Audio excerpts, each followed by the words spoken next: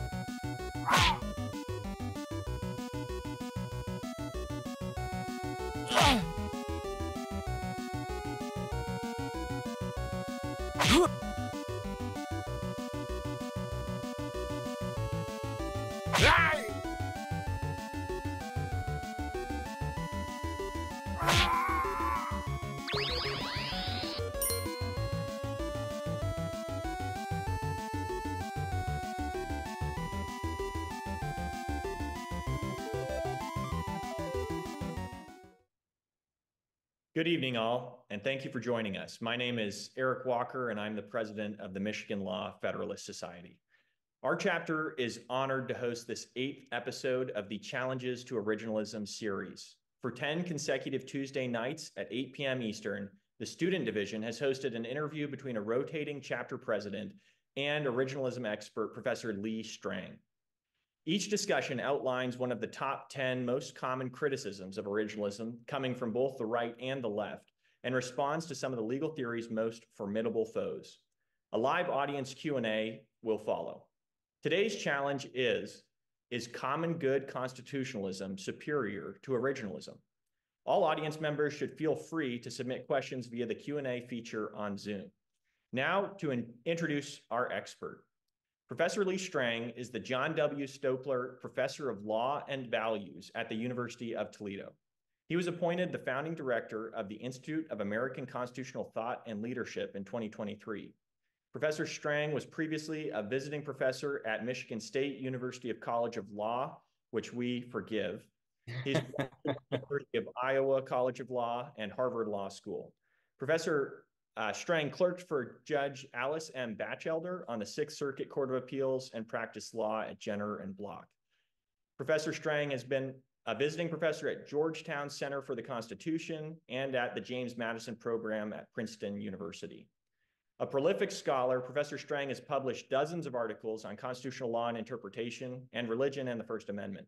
His most recent book, Originalism's Promise, a natural law account of the American Constitution, is the first book length natural law justification for originalism. He's currently editing the third edition of his casebook, The Federal Constitutional Law, and recently finished a book on the history of Catholic legal education in the United States. Thank you again for joining us, Professor Strang. Any introductory remar remarks before we jump into the common good? Yeah, th thanks for your, your introduction, Eric. This is one of my favorite topics. It's one that uh, when Professor Vermeule first published his essay back in 2020, I, have been following the developments of common good constitutionalism. It's been it's been really interesting the developments. It's been actually I think a really healthy conversation within originalism as well. So this is going to be a great event tonight. Yeah, yeah, certainly live, and uh, I think chapters around the country have been discussing it this year. Uh, maybe you could start just by kind of defining the territory. What is common good constitutionalism?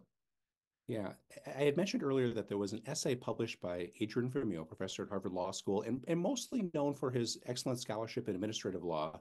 He published an essay in 2020 uh, outlining or previewing this idea of common good constitutionalism, distinguishing it from originalism was one of the moves uh, at the genesis of the project. And then in 2022, Professor Vermeule published uh, a book by the same name. It was, it was a promise book uh, it's been the subject of a, lot of reviews, the subject of a lot of uh, debate and conversation. Uh, I think if if our audience is looking for things to read about common good constitutionalism, I think Professor Vermeule's book, Common Good Constitutionalism, is, is good. I think a series of joint articles authored by Professor Vermeule and Professor Conor Casey, his oftentimes co-author, are also a good source of information about CGC. And then lastly, there was a symposium published by the Harvard Journal of Law and Public Policy in late 2023 that has essays by both proponents of CGC, critics of CGC, and then a response by Professor Vermeule. So I think that's a place where you can get the kind of state of the art of the debate in this area. So, so what is CGC? I think CGC has kind of two basic commitments. So one commitment is to what the authors call the classical uh, legal tradition or CLT. And I think that's a, a, label for the natural law tradition, what other people would call the natural law tradition.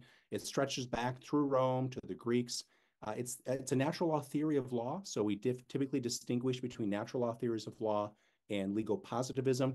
And a natural law theory of law will say that the posited legal materials that are created by uh, Ameri- by humans, such as the Constitution, they are part of the law, but the posited legal materials don't exhaust the concept of law. And so you have other non-posited and often non-human created legal norms, like a norm of justice, that would be part of what the law is.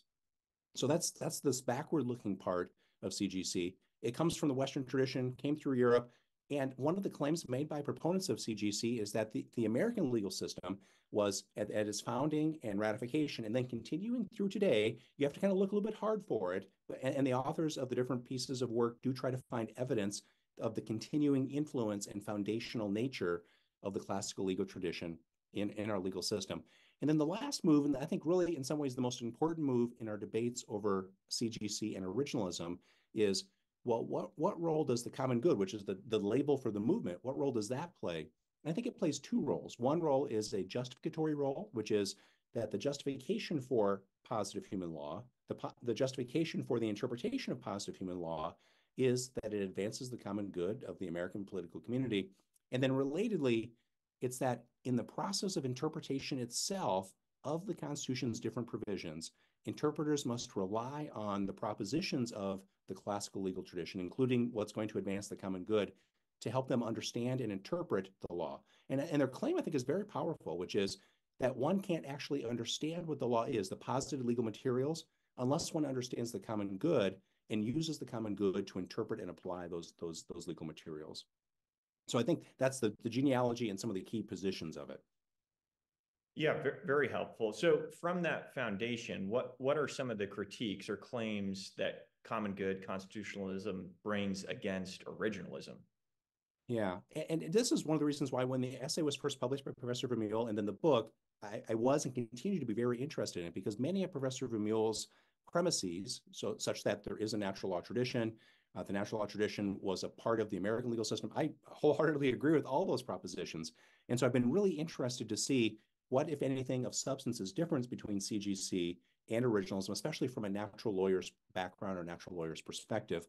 And so far as I can tell, and the reason why I'm being a little bit hedgy is that I've honestly had a little bit of a hard time identifying the bases from the perspective of CGC itself, how it's different from originalism. And, and one of the reasons is Professor Vermeule, for example, in his work, and then Professor Casey in his work, both affirm propositions that are core parts of originalism. Uh, one proposition is what we call the fixation thesis, which is that the Constitution's meaning was fixed uh, when the Constitution was ratified, this positive legal document, and that for the most part, they're a little bit cagey on how much, if uh, to what extent. Uh, the, the CGC proponents seem to suggest that uh, judges should follow the Constitution's original meaning, maybe at least prima facie, or maybe even in the majority of instances. So there's actually a lot of overlap between some some parts of CGC and originalism. I think the CGC folks have three main criticisms of originalism, as I understand their position. The first is kind of a global criticism that there's a lot of times where the proponents of CGC will characterize originalism as they'll, they'll use adjectives, fundamentally positivist or legal positivist. And I think that's supposed to have a, a term, be a term of opprobrium. That's supposed to be a negative comment. And especially from somebody from that perspective who claims that natural law is the best way to understand the legal system and, and law in, in general. And I, I think, and, and, there's a way in which that criticism is certainly true, right? That originalism focuses a lot on the positive legal materials. And so so originalism from their perspective is legal positivism all the way down. And therefore, it's missing two key points. One key point is that if originalism is supposed to be true to itself, they would say, it needs to recognize that at the framing and ratification of the Constitution, the natural law tradition was a huge part of that worldview. And then, what arguably, if this is their, their argument, was an assumption of the framers and ratifiers when they drafted and wrote and then ratified the uh, the U.S. Constitution. So originalism is misunderstanding its own uh, its own focus, right? It's not it's it's it's it's losing the the the ability to see this natural law tradition. And then there are two related interpretive arguments, as I understand CGC. So one related interpretive argument, which I think is the more robust one, is that at different points, Professor Vermeule and other proponents of CGC will argue that uh, interpretation is, quote, necessarily or, quote, inherently normative. And I, I think what they mean is that there's never a situation where a legal official can look at the posited law of a legal system and using just the posited legal material, so it could be the text, structure, history, and precedent, just that, and come up with a determinate legal answer. I think they mean that that's not a, a theoretical possibility, that there always has to be the possibility and the resort to legal norms that aren't themselves directly recognized, adopted by the positive legal materials. And the second related, maybe it's a slightly narrower argument, and this is an argument that comes from the, from the legal philosopher uh, Ronald Dworkin, maybe the most prominent legal philosopher in the Anglo-American world in the late 20th century. Um, Ronald Dworkin had this famous argument, primarily in Law's Empire, book in 1986, where he argued that the best interpretation of any of the law generally, but of any particular area of law, is the, the moral principles that fit that area of law and that that best justify that area of law. And so, from the Dworkinian perspective, you always have access to moral norms because those are the moral norms that fit and justify the area of law. And the way it works in CGC is the claim that the Constitution's original meaning is, I think they want to say always, but I'll just maybe hedge a little bit and say almost always, or for the important provisions, always abstract. And so that from CGC's perspective, to, uh, to understand what these abstract moral norms mean, one has to have resort to those moral norms themselves. And so they rely on this level of generality argument by, from Professor Dworkin to say that the Constitution's original meaning is an abstract moral norm, and therefore that's how uh, how uh, interpreters should utilize it. And, and what that means is that the original meaning isn't really doing any work in that analysis. What's doing all of the work analytically in the interpreter's mind are the abstract moral norms themselves. So I, I think that's so there's a, a global argument, and then there's kind of I think two concrete examples or instantiations of that argument for the criticism. Yeah. So uh, positivism, the the fact that interpretation is itself moral, and the level of abstraction to to moral norms. Uh, how how have originalists in turn responded to those those attacks, both global and the, the more specified? Yeah, the global one is one. There's a way in which it's true, but also not true to the point that the, the critics want to want to want to uh, to advance it. So there's a way in which originalism is positivistic in the sense of it's saying that there is fixed law, that's the fixation thesis, from a particular time period when the Constitution's text was adopted, and that there's the constraint principle, and officials today should follow that fixed original meaning. And those are all kind of in the realm of legal positivism in the sense of we're looking for what the positive legal materials require of us, but it's not a deep fundamental legal positivism, or at least it doesn't have to be. And I think, you know, in thinking of the different original scholars that are out there, I don't know if many, if any of them are deep, uh, like theoretical, theoretical legal positivists. Maybe a good example, uh, somebody who actually has written a review of uh, Professor Vermeule's book is Professor Randy Barnett from the Georgetown Georgetown Law Center. Uh, his he he is somebody who believes in natural rights. His argument in favor of originalism is one that that leverages the existence of natural rights, and so it's just really hard to characterize somebody like Professor Barnett as a legal positivist. And, and there's a lot of folks out there, myself included, who are fundamentally natural lawyers and who use the natural law tradition as a justification for originalism, but also as tools of interpretation in specific ways in specific areas and not in a kind of a global way. And so, and when you, and so just maybe kind of in a concrete way, Eric, what are the ways in which natural law can play a role in originalism, which would dispute the proposition that that originalism is is positivistic? It, it would play it would play I think four different roles. So one would be that sometimes the original meaning can itself incorporate natural law norms. I think the word cruel is an example of that. So the original meaning of cruel would be disproportionate to a crime. That would be a, a proposition of justice. Second, if the original meaning is underdetermined, and so there's creativity in the relevant interpreter about how to implement that, that original meaning, one of the aspects or one of the tools that an interpreter could use, originals dispute to what extent this can be used, would be natural law propositions. Third, when evaluating existing non-originalist precedent, some originalists, myself included, have argued that judges should take into account, among other things, the justice or lack of justice of a non-originalist precedent. And then fourth, the justification for originalism in many originalist views is based on natural law propositions. There's actually a group of scholars, you might call them the natural law originalists, Joel Alicea from CUA, Jeff Pojanowski from Notre Dame and Kevin Walsh from CUA and myself are, are folks who have used the natural law tradition to argue for, to understand originalism uh, in, in kind of in a, in a deep way. Uh, and so and so there's there's a lot of permeability. The point is between originalism and natural law. Now, a, a critic like Professor Vermeule might Vermeule might say, well, what what Strang and these other folks are doing is a limited use of natural law and only where the positive law warrants it. And I think there's some truth to that. But but but the point is that both the justification and the usage of natural law in originalism by these natural law originalists is not a deep commitment to legal positivism. It's a claim that the legal system itself, within the natural law tradition, has made a series of what are, are called determinatios.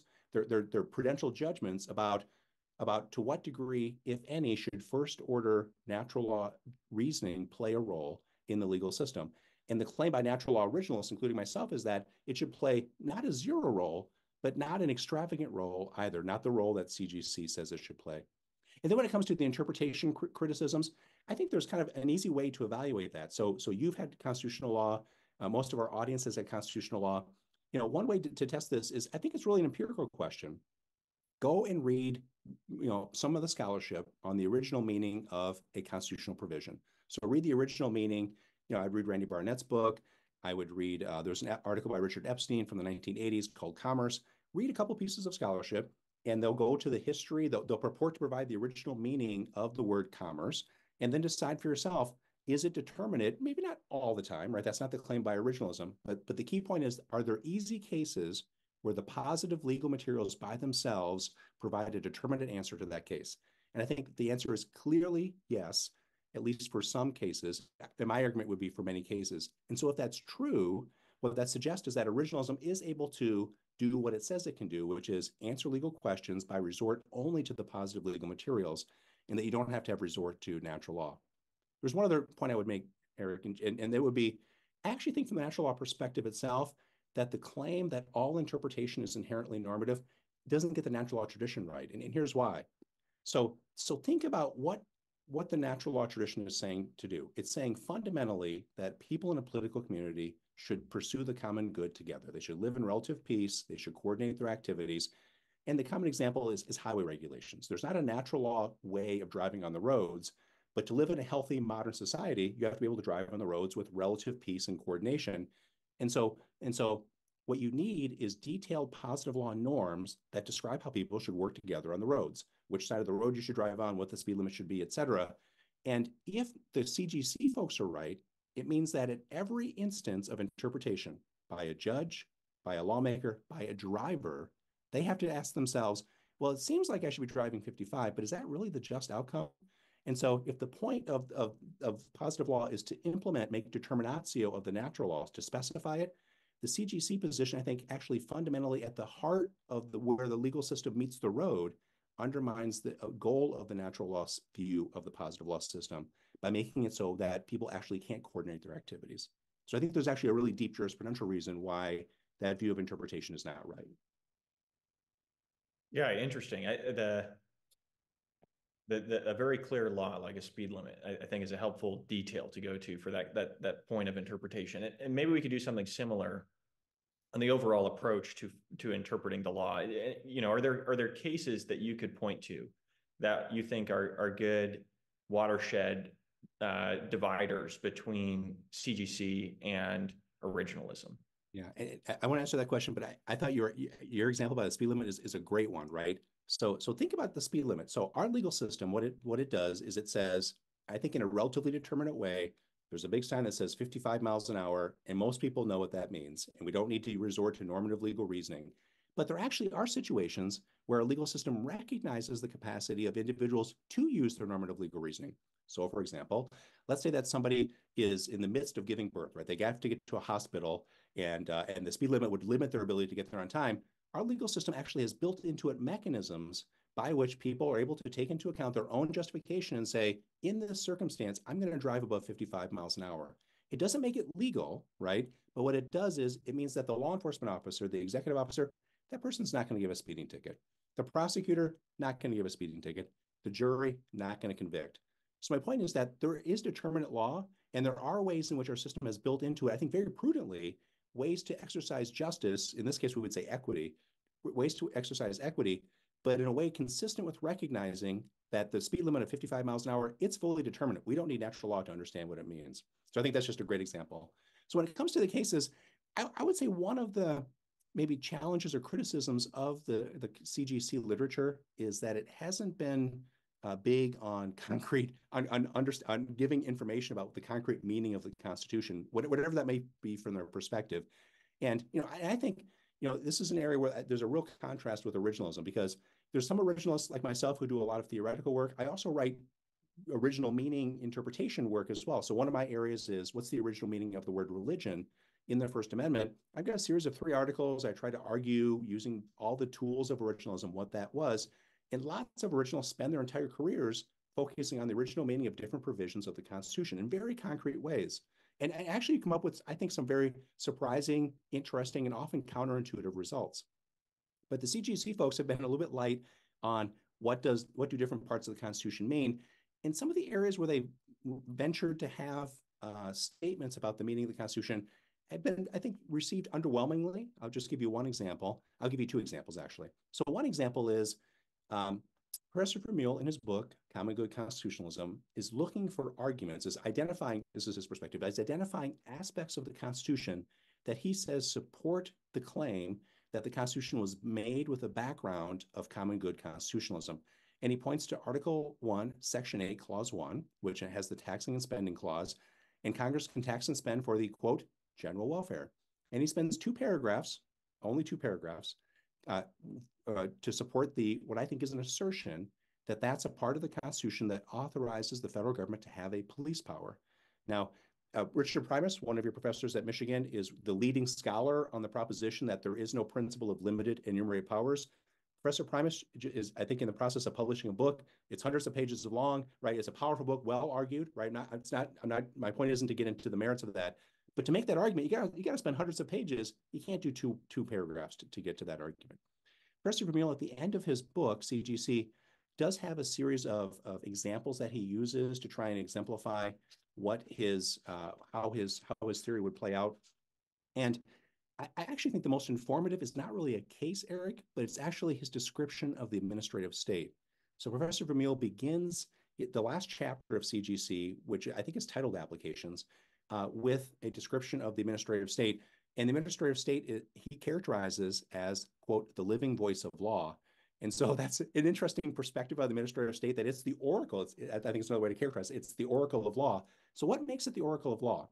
Two, two key things. So one is that administrative law, both the APA and then the statutes that the agencies are implementing are relatively indeterminate. And so therefore the agencies have a lot of discretion. So that's one key point. Second, what role is there for, for other official oversight of the administrative agencies? It's minimal in Professor Vermeule's view. So Professor Vermeule is a fan, for example, of the Chevron doctrine. And so, so I think that perspective of the administrative age of the administrative state as, as the, the, the entity that is creating the specific norms by which the natural law is implemented and for which other officials have relatively limited role in oversight of that is a metaphor for his view about constitutional interpretation, which is it's relatively open-ended that there's direct resort to natural, natural law norms to specify the, the, the meaning of those open-ended constitutional provisions. So I think those are those are two ways in which I think give us some insight into uh, how CGC folks view uh, the Constitution and how would originalists view that differently. That that that for the for the original scholar, as I, as I mentioned earlier, it's an empirical historical question what the original meaning of a particular provision is. And so scholars spend a lot of time debating the original meaning of commerce or privileges and immunities or equal protection of the laws. And, and there's entire literatures that have developed in these debates. And, and, and the, the literatures actually become kind of complicated, kind of um, detailed, sophisticated, uh, which is a vice in some ways, but actually a virtue because what happens over time is that these scholars identify areas of agreement. Yeah, we agree the original meaning is this areas of agreement about where they disagree. We disagree about whether it's X or Y. And then there's some areas of continuing uh, disagreement about where there's disagreement, but that tends to become smaller over time. And so you see this really rich scholarly community in the originalist world working out the details of originalism, how it's practically implemented in a way that, at least so far, we haven't seen in the CGC world. I, I want to circle back uh, perhaps to your first the, the first general critique that you outlined from CGC scholars against originalism. And, and I think one of the, an originalist instinct is to ask, despite what we might want it to be, what is the system that we have inherited? What is the system of law in which we live? Okay. And are, are there signals that you find at the founding that show that the founders anticipated or designed a system in which law would be interpreted in, according to its original meaning rather than to a, a, a moral perspective or, or common good constitutionalism? Okay, that's a great question because one of the debates between originalism and CGC is, or at least I think CGC folks think it is, uh, which which theory of interpretation is more faithful to the circumstances and views of the framers and ratifiers? So I, I want to acknowledge that point. I have just one kind of caveat, which I think it's the case. I, I actually don't understand this debate. I think it's the case that the framers and ratifiers could have thought that there were no sound reasons to follow the original meaning, or they could have thought there are no sound reasons to follow CGC. But if we today think that there are sound reasons to follow one or the other, then we should follow which ones we think there are sound reasons for. So I think there's a way in which this kind of an that this debate's a little bit orthogonal. But putting that aside, that when I look at the scholarship on the framing and ratification, especially focused on what were the expectations regarding how the provisions would be interpreted, the methodology of the interpretation, the, the two works that have been influential in my in my view and offered to the audience, one is by Christopher Wolfe, The Rise of Judicial Supremacy, and the other is by Jonathan O'Neill, uh, Originalism in Politics and Law, I think is the title of it. And the, and the one book is a little bit older than the other, but both of them purport to go through the, the circumstances contemporary before, during, and after the framing ratification to see how did Americans at that time view legal interpretation. I'll just give you one kind of data point on that. Both of those scholars, and I've been persuaded by this, point to William uh, Blackstone, whose commentaries, of course, were very influential at the time.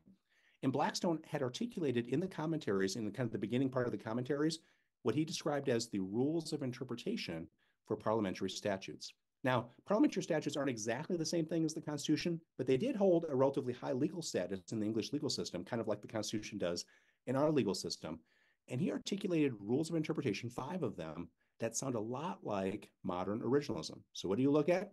You look at the text, you look at the context, you look at the purpose, you look at the publicly available context. So, the, so the same things that Blackstone was looking at are the things that originalists look at today. And what these two scholars, Wolfe and O'Neill, do is they trace that genealogy of these Blackstonian rules, and then they see them operative in the Philadelphia Convention.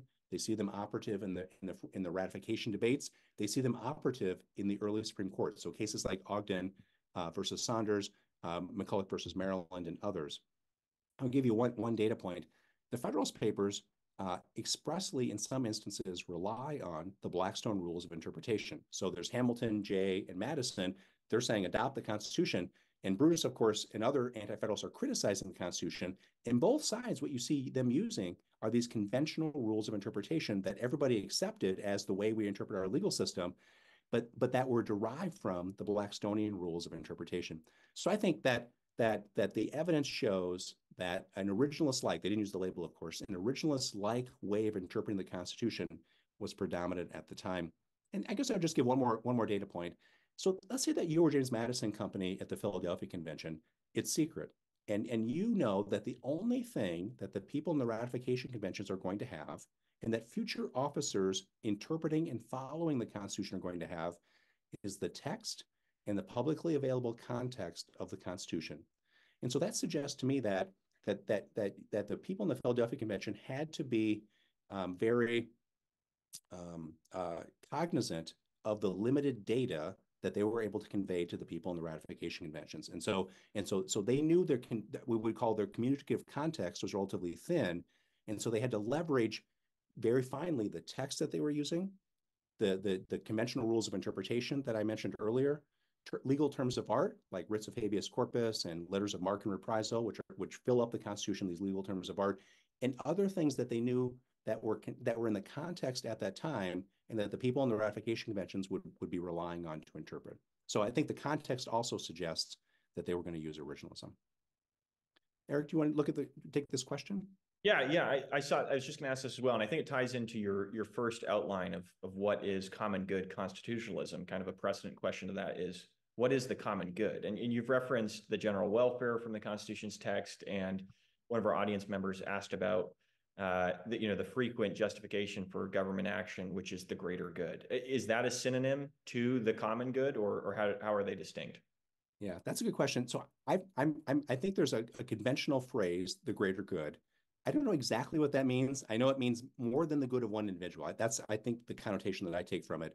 So I'm not going to um, uh, try to identify what counts as the greater good. But let me talk a little bit what the common good means, both in the CGC world and in the broader natural law tradition. So the common good in, in the natural law tradition, of which CGC is, is, is a part, and no doubt about it, um, is that it's it's the it's the flourishing of the political community. So that so if the political community, if a country is flourishing, then it's securing its common good. How does that relate to the individuals, the members of that political community? there actually over time have been developed three different conceptions of the common good within the natural law tradition. And there's a, it's a little bit of kind of um, maybe maybe hair splitting might be, although I guess in the natural law tradition you have people like Aquinas who are, are you know purported to do a lot of hair splitting, but there's a little bit of hair splitting going on in the natural law tradition, and there I think maybe you, the way to think about it is there are these three different conceptions. One is instrumental, which is the common good is the set of conditions that allows the members of that community to flourish. One is um, an individualized conception of the common good. The common good is the good of each individual. And then the third conception is that there's something separate and apart from the individuals in the community that is the common good of the community. And there's and there's debates in the natural tradition about which is the, the right view. Um, there's actually a great uh, uh, uh, essay by uh, George Duke, a scholar from England, in a uh, in a recent collection, maybe three or four years ago, called called Natural Law Theory. And George Duke has an essay that I think is, is an up to date, state of the art discussion of the common good. And at the end of his essay, he makes the pitch that those three conceptions, in fact, are just three different aspects of one unitary common good. So, so there's the common good, and, and so I talked about three different conceptions of it. What work does it do in CGC? What work does it do in the natural law tradition? It's the justification for law in the natural law tradition. If a law is advancing the common good, a positive law is advancing the common good, then it has a warrant, it gives people a reason to follow it, and if not, then not. So the common good is the essential, it's the axial point in legal theory from the natural law perspective. One theme throughout your remarks has been the you know the significant overlap between originalism and common common good constitutionalism, or at least shared uh, priorities. So, can, can you highlight a little bit how close you see these two methods of interpretations or theories being, and is is it a a practical difference or a methodological difference as it as in implementation?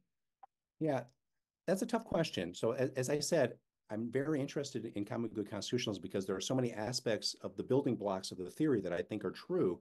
And so I've just been trying to figure out how is what those folks argue different than what natural law originalists have argued. And I, I don't, I, I gave you, I think, three criticisms that they articulate. I think those are genuine criticisms that they articulate.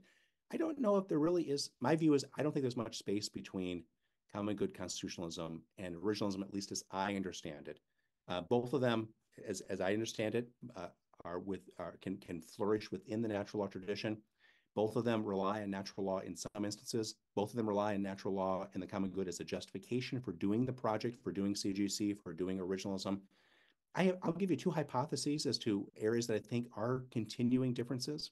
Uh, and they're just hypotheses. I don't have enough evidence yet to confirm them. So one is when you look at the scholarship, especially of Professor Vermeule, he often characterizes originalism in the original meaning as, quote, the semantic meaning of the Constitution. Now, what's the semantic meaning? So when you when current originalist theory identifies the Constitution's meaning as its original public meaning, that has three components. One is the conventional meaning of the words at the time. Second, placing those that, that conventional meaning in the context of the document with the rules of grammar and syntax. That would be the semantic meaning. And third, here's the critical, I think, different move that at least so far CGC folks who are critical of originalism haven't taken on board or haven't recognized. And that is uh, that, that that semantic meaning is in the context of the publicly available uh, information when in the communicative situation.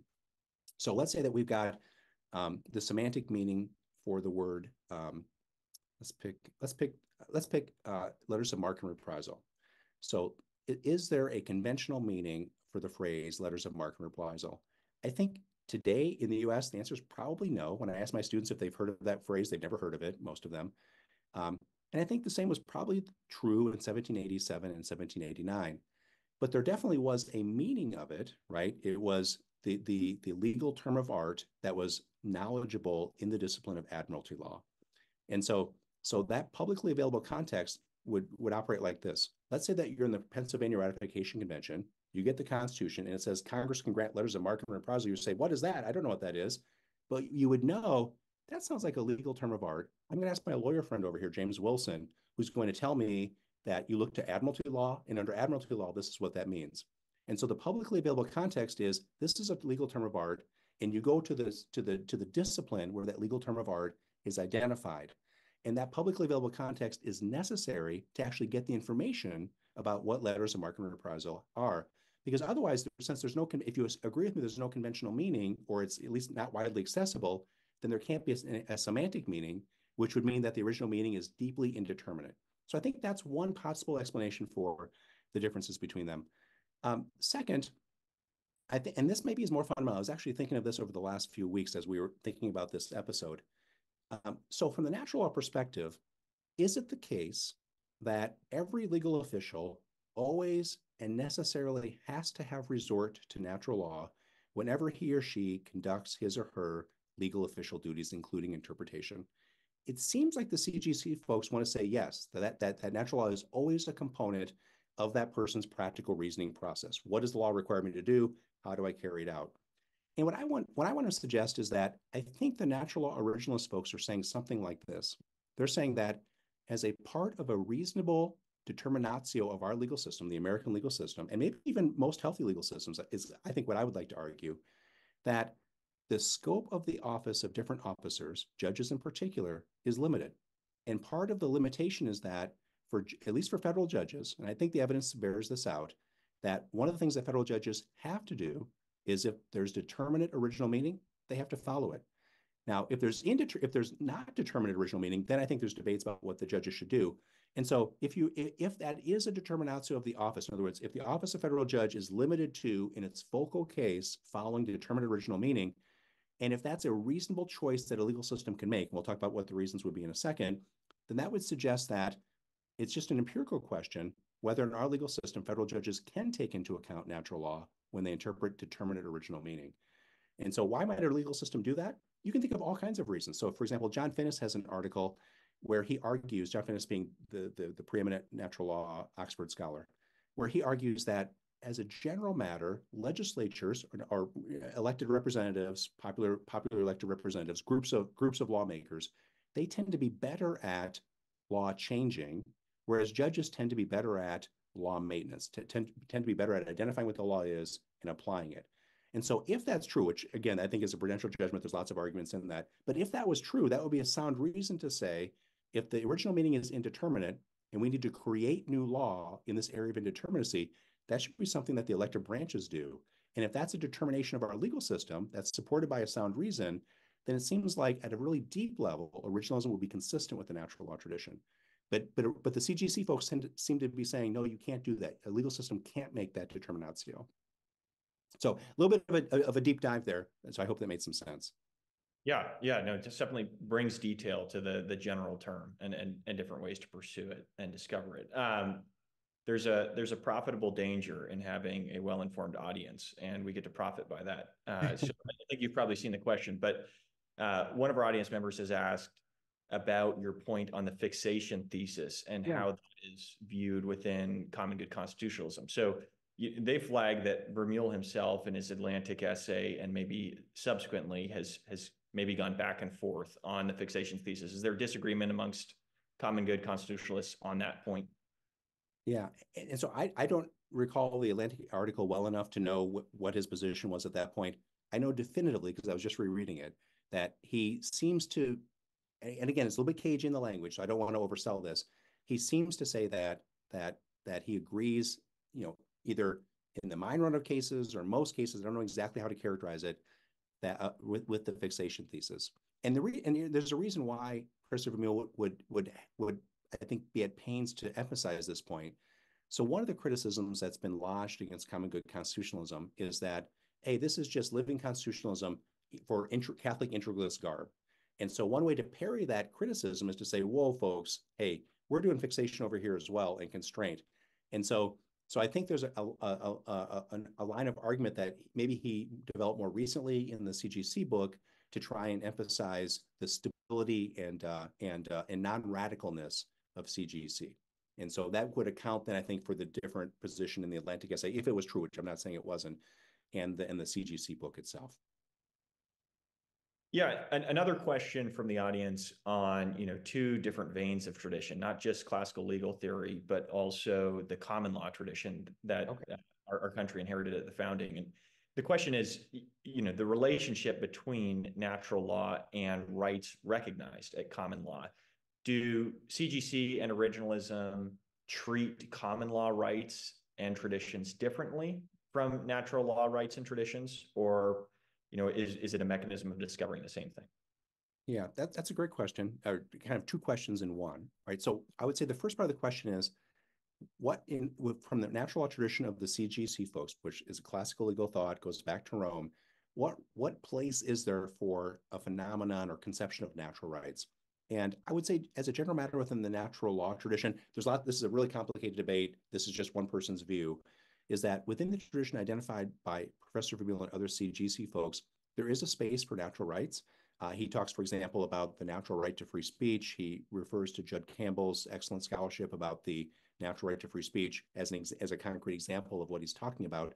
So I think both he and the natural tradition more generally think of there being space for natural rights. They, te- they tend to not to they tend not to be Lockean libertarianish natural rights. Uh, th- these natural rights tend to be tied to constitutive aspects of human flourishing. So think about free speech. Free speech isn't the right to say whatever you want, regardless of how it harms other people, either physically or otherwise. Free speech tends to be free speech is an analytically distinct component of human flourishing, where to be a full flourishing human being, you need to be able to speak with other humans on political matters, on economic matters, and whatever it might be. And so the purpose of the right, the purpose of the of the of the of the free speech limits the scope of it, at least as a term of theory, and the legal system could modulate it in different ways. So so my point is there is a natural rights aspect to the natural law tradition, at least more recently, but it's maybe not the standard one that people are familiar with. Okay, so how does that relate to the to the common law? Different people have different views about the common law.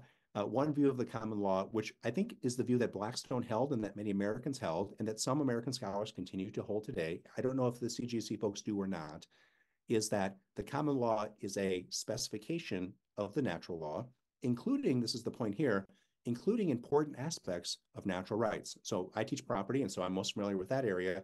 There's lots of aspects of American property law inherited from England that provide a really robust scope of discretion and, and autonomy for property owners. And, and we tend to think as Americans that that's, that's basically sound. And I think the natural law tradition thinks that that's basically sound as well. So what does originalism have to say about that? I would say not a whole lot, honestly. Uh, so originalism is about how do you interpret the Constitution? And to the extent the Constitution is referencing the common law, it is it is referencing the common law either this actually may be a little bit of a debate either at the time of 1787 89 or currently and uh, and and how about cgc I don't know if they have a, a thought out position on the relationship between CGC and, and common law. You could imagine a position something like this. I don't I don't know that they've taken this position.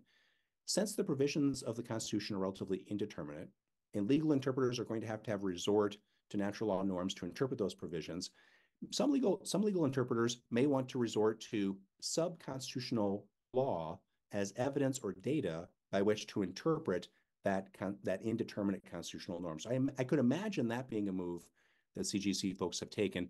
Uh, it's a move that originalists, you know, it's interesting. I guess originalists could take that in areas of underdeterminacy, but when it comes to the focal case where the original meaning is determinate, the originalist judge is not going to have any resort to the common law unless the original meaning says you got to talk to the common law. So, for example, um, the Seventh Amendment is a reference to common law causes of action. So there we've got to, but beyond that, I don't think there's much of a, sp- a space.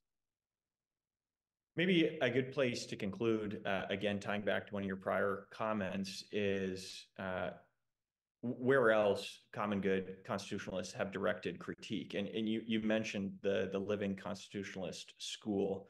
Ha- have CGC folks advanced critiques of that methodology, or have they just focused on originalism thus far? Yeah. Um, yes. So, so the the the the, uh, the rhetorical uh, position that CGC scholars have, have put themselves in or try to put themselves in is they view on in the in the debates over interpretation, there's there's folks on the other side of the divide. Those are both originalists and living constitutionalists, and then there's folks on, their side of the divide, the CGC people. So how is how do, how from the CGC folks' perspective do they view living constitutionalism? I think at, at a fundamental level, um, the CGC folks view living constitutionalism as being motivated not by the classical legal tradition, in other words, not by sound norms of, of, of natural law, but instead by, and this is their characterization, but instead by a, a progressive desire for liberation, a progressive desire for individual autonomy to the fullest. And one of the cases that Professor Vermeule points to as an example, a negative example in his mind, is a case of Obergefell versus Hodges dealing with same-sex marriage. And so, so I think that's the main critique is a substantive critique.